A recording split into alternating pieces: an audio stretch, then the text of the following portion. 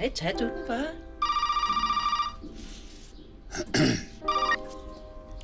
Karl Erik von Bæk.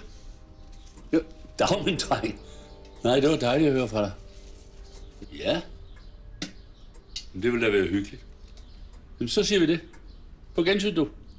Var det Jan Erik? Har han endelig fået den rejsesfulde Gert Rigsborg ned med nakken, var? Nej. Det var Jens Erik. Ja, han vil gerne spise frokost med os. Det var da på tide, vi hørte noget fra ham, var.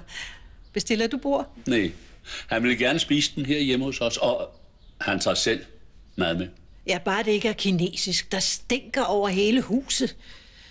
Åh, Karl Erik, kan vi ikke snart flytte tilbage? Vi har det da meget hyggeligt her.